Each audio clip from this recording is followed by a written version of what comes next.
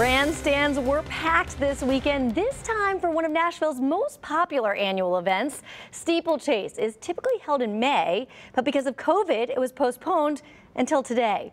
News 4's Danielle Jackson was there. Danielle, who won the race? Carly, what a race it was. Snap, Deci Snap Decision won this year's race, his ninth straight victory at the annual Iroquois Steeplechase. Spectators were out there for hours enjoying the race and even doing some tailgating.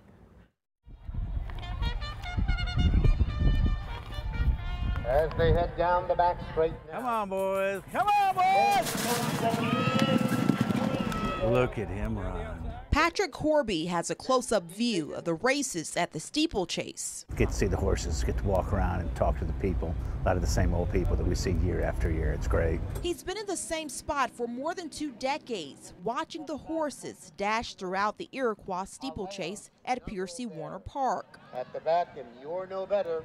This is uh, first jump for many of the races right here, and we're right at the jump.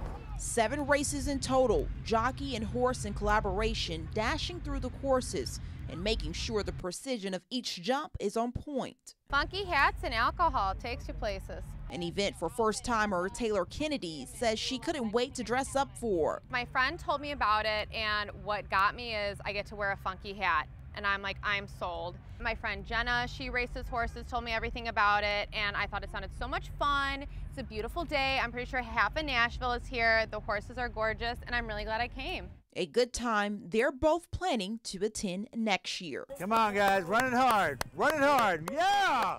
Don't miss next year. Let's bring it back big. Right there on the outside. And the Eve City moves up and what a great time it was. Organizers say the race benefits the Monroe Carell Jr.'s Children's Hospital at Vanderbilt, and they exceeded their goals. Carly, Danielle, it's great to hear. Thank you.